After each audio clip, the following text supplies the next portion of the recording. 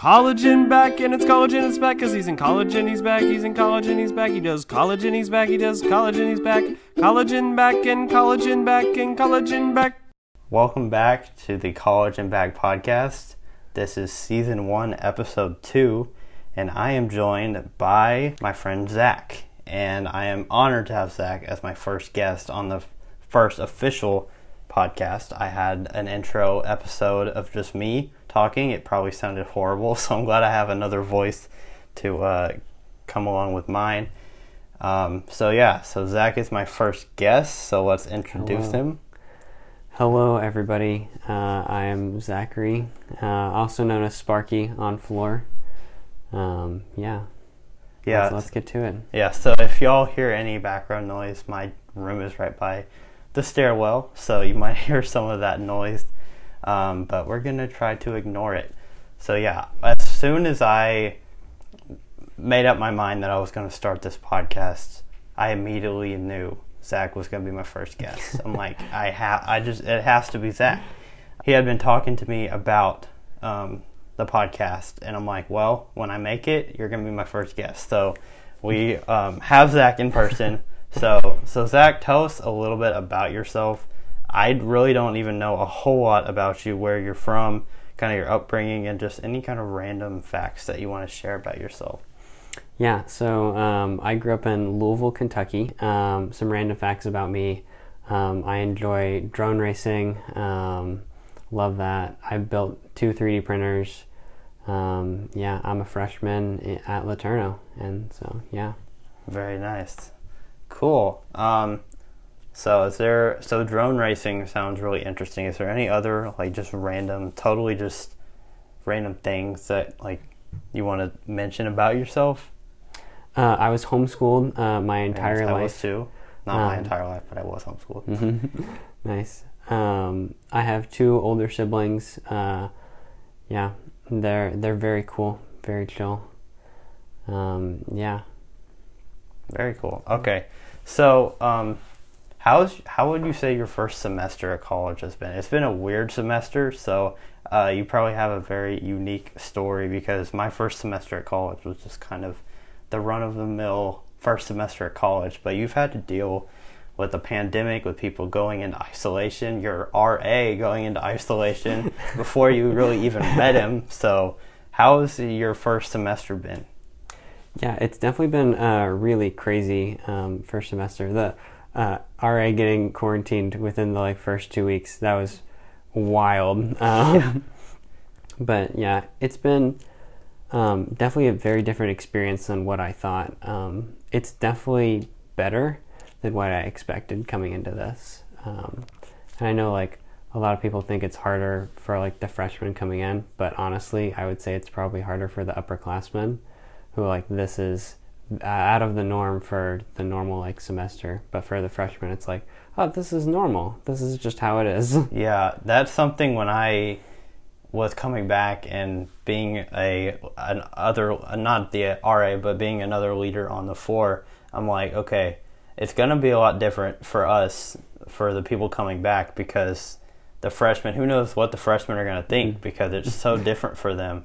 And as upperclassmen, we need to kind of be there for the freshmen to uh, you know help them out and stuff. And then when our RA went on a quarantine, literally, I think it was the second, like it was close to like the second day of school. I think is when he went in. I'm like, well, I'm kind of the next one in charge, so apparently now I'm an RA. I didn't expect to be that, but so yeah, it it was really weird to uh, just go in and have it be really different. Um, and I, I, I am surprised at how well the freshman class has done this year. I was pretty worried about just how the freshmen are going to take it because it, it, first of all, it's a really hard school we're at. Like, it's not easy. Classes are not easy. And just adjusting to the social life isn't easy. Um, but you, you, your class has handled it really well. So I'm super happy that y'all have done as well as you have. I've been really impressed. I was sure we'd had some breakdowns or at some point, Yeah. uh, but yeah, it's all been pretty good. Uh, no break though. That's Yeah, that sucks. that's a little intense. Yeah, it's very intense. Just having to go f- like 14 weeks straight through without any kind of break is brutal. Um, so yeah, I totally agree with you there. So you said drone racing at the beginning. Do you have any other hobbies or things you like to do in your spare time? Uh, so the weird thing about me is I don't actually play a lot of sports at all. Um, so I grew up with engineering as my sport. So I did uh, FRC robotics um, for five years um, and had a great time with that. If you don't know what it is, look it up. Very cool stuff. Um, and then I I did do archery for a while. Uh, so if you want me to ever hit a target, I can do that, Wow. but only did not know standing still and only a large target. Okay. um, but yeah, Interesting. That's cool. So, are you like super? Would you say you're pretty good at drone racing, like racing drones? I am pretty okay at drone racing. Pretty okay. I've had a fair share of uh, drones end up uh, in water, um, on the ground, Yeah. um, and in pieces. Nice. So, when you're talking about these drones, are they like expensive drones that you race, or are they just kind of like a regular, like cheap drone? Uh, they're like medium kind of price range. Um, Yeah. I build them all myself, Wow. um, and so you definitely put a lot of heart and soul into it. So when you see Yeah. it break, you're like, oh no. But then you also remember, ah, yeah, I can just fix that. Yeah. Yeah, you're very creative with all that stuff. I've warned that about you. You're probably the most one of the most creative people I've met. Just be able to like make stuff and like just say, "Oh yeah, I can do that." I'm like, "Dang, I do not have that creativity." Um, but yeah, that's really cool. Um, so, speaking of things that are really cool, you have a your major is a new major at this school. Yep. It's me- mechatronics. Is that what Me- it's called? mechatronics. Because when I looked it up before, when I was preparing this, I typed in Megatronics, like M E G A, and that's what I thought it was called. And then when I looked it up, it's like, oh, it's Mechatronics. That's Mhm. interesting. So tell us a little bit about what that is. Yeah, so uh, new degree to LeTourneau. Um, I heard about it um, from one of the administration people here, and they're like, "Yeah, even I don't know a lot about it." So I started researching it. Um, it's a mix between um, electrical and mechanical, um, with a little bit of like computer science in there too.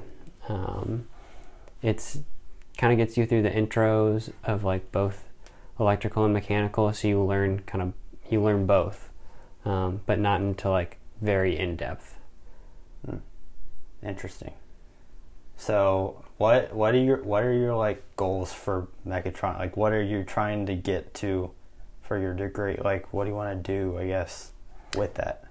Um, I really want to design things. Uh, I Clearly. lo- yeah, I love building things, working on projects. Yeah. Um, a lot of rapid prototyping, doing Wow. things nonstop, really fast, um, and helping people like solve problems and stuff. And that's really cool. hmm Yeah, that'll come in handy. I mean, I- think that's so cool about like just engineering in general. How engineering is like one thing, and then I'm a business person. It's Mhm. like they work so well together. Like before, I just thought of engineering and business as two so totally separate things, but they really work together really Mhm. well. So I think that's really cool. Maybe we can work on a project one day. Entrepreneurship, yeah. That would be really cool. Um, all right, so tonight there's a lot of stuff going down. Now, Oh, not tonight when you're Tonight. when you're listening to this, but tonight when we're recording this, there's a lot going down. So tonight is actually the presidential election, so we're not going to talk about that Oh, I too for- much. Forgot that that's But tonight. yeah, that's to, no, that's not big. The big news is what I'm going to get to in a second. Um, but yeah, so the presidential election is tonight. So when you're listening to this, um, we're we're happy right now. We might not be in a couple hours. So we'll, we'll see. We'll see what happens. But or when you're watching, listening to this, you we might still not know what happened. So that's interesting. Yeah. But This, Um, this may never come out. The world may end in 10 days. I hope not. I hope we're still here.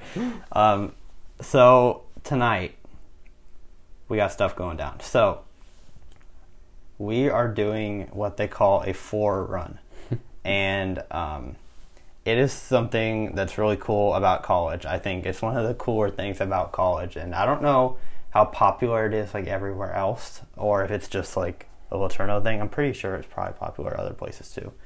But for but this kind of floor run that we're doing tonight is something epic. So basically, what it is is we at LeTourneau have a sister floor. We're brother. We're their brother floor. We they're our sister floor, um, and we kind of just are kind of made like built-in friends kind of with their floor. So like we hang out together, we do events together, stuff like that. Um, so what a floor run is is basically one one night, or I guess you could do it in the day, but it's easier to do it at night when everybody's asleep. You go in and you just like raid their hallway and everything. You just decorate it, do whatever because there's different themes. Like we're doing a Christmas theme tonight, um, but you can do any kind of theme you can think of, honestly. Um, so you, we're just gonna go in and decorate their hallway and do little crazy fun stuff. We made gift bags for each of the girls. We're filling their hallway with 500 balloons, I think, something Yeah. like that. 504 balloons. 504. So, so that's what we're doing tonight. So I have to ask you: Are you ready for this? I am very ready for this. Uh, this has been a long time of planning Yes, uh, to get to this. I heard about this the first week Yeah. I was here about a floor run, and I was very excited for it. Um, so yeah, it's been a great experience getting to prepare for all yeah. that. And our RA Asher has kind of enlisted you and one other freshman Mhm. as the leaders of this floor run. That's never happened before. Usually it's the upperclassmen that handle it, but Asher just gave you all the keys and said, "You you go ahead and plan it." So you're, you're the boss. So you're my boss for the next uh, couple hours. yeah, But so how has planning been for you? Because I know I've done some stuff on the side as well, but Mm-hmm. being the mastermind of everything, how like how's the planning gone? Like what what all have you done? Uh, it's definitely been interesting getting everyone's schedules to align and making sure we're hitting like the proper deadlines for some things. We have some long 3D prints that are going, Yeah. um, and we have to had to do some repairs on those. um, Dang. yeah, a lot of late nights, uh, but it's been a really good time uh, getting to actually like fit all these pieces together and plan this with people and uh, really get everyone involved um, and helping in some way. Yeah, that's really cool. I know in years past, um, we did two floor runs my freshman year last year, um, and it was nothing near as involved as this one. Like our ones last year, it's like yeah, we'll just do some streamers and blow up some balloons and then just make little notes and stuff. But I mean, this one we've been preparing this for almost a week at this point. Yep. Last year we literally did the day of. We made some sticky notes and just went put up streamers. But this year we're going all out. Like we've literally had, I would say probably six or seven, eight people working on it, um, and it's really cool. And tonight we're still not done. There's going to be a balloon team that are going to be blowing up all the balloons tonight. Yeah. Um, and then we're gonna get to it at 2 a.m. So that'll be that'll be really fun to go. Um, with COVID, we have to limit it to eight people going in at a time, but it'll still be really fun. I'm really excited for it, and I'm sure you are too. Yep. That's awesome.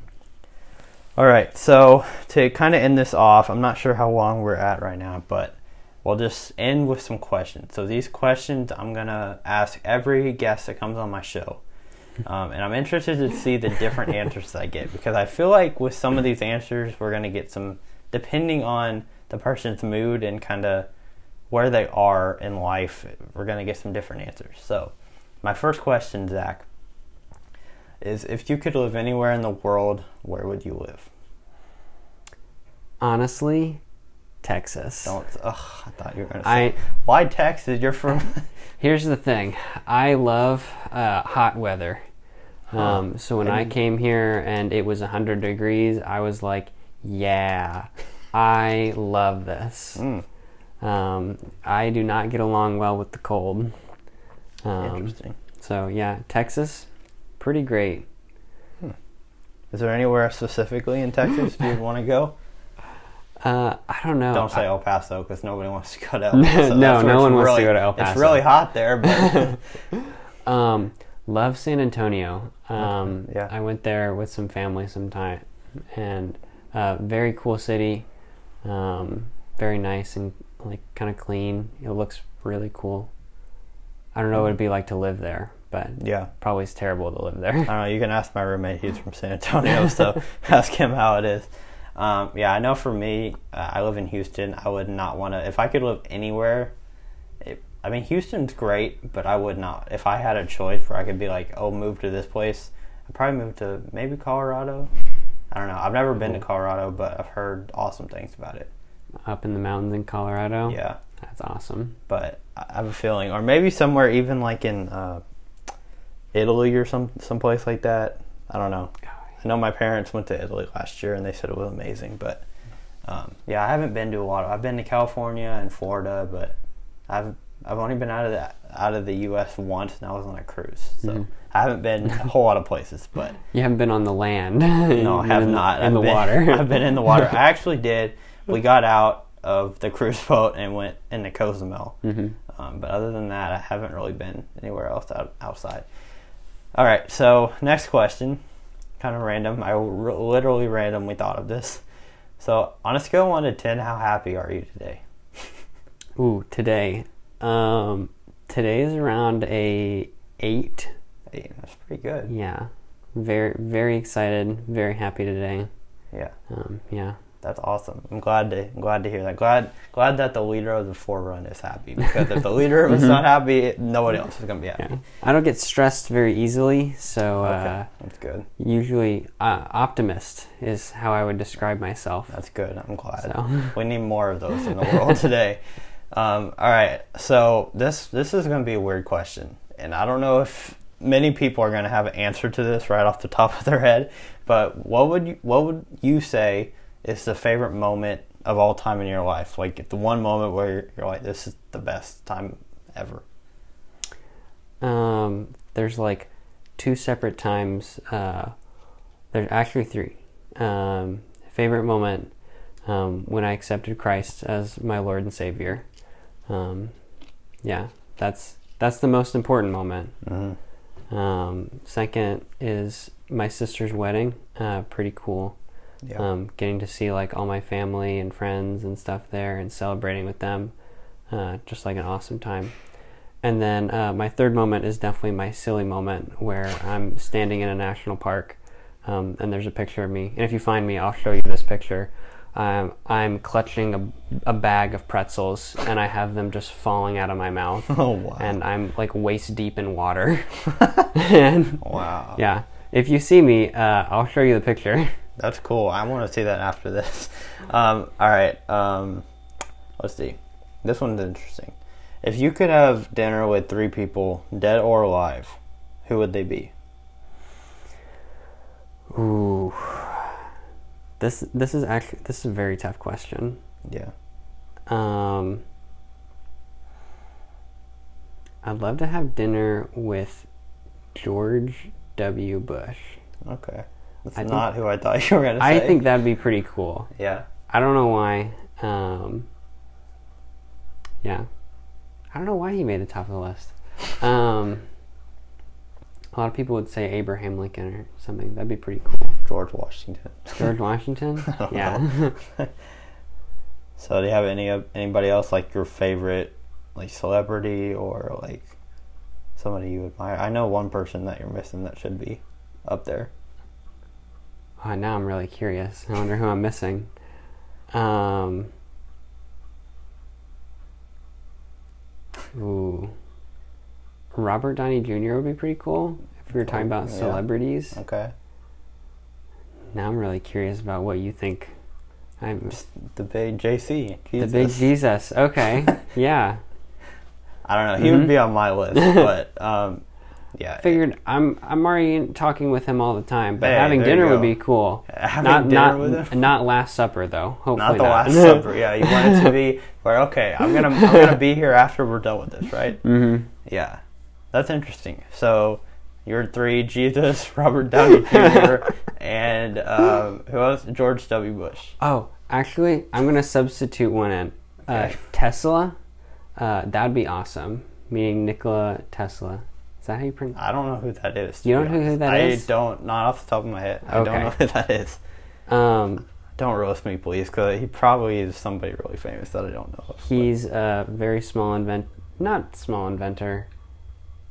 weird dude, uh, but really interesting engineering things and stuff. Okay. Interesting. Okay, cool. Those are some. That'd be that'd be interesting. I'm sure that'd be an interesting dinner with those Mhm. with the all four. Mm, all four at one time. That'd be yeah. all right, and to end it off, is there anything else you want to say to the public about anything else? about anything else? Just Um, about any random fact, uh, quote that you want to say. I don't know. random factor quote. You don't Um, have to, but if you just have something. Uh, one that I will a quote that I will quote uh, frequently sometimes. Uh, an eye for an eye makes the world blind. Um, that's a quote by Gandhi. Nice. Um, I don't know why it comes to my mind. Not Buddhist or anything. um, yeah. All right, Um, sweet.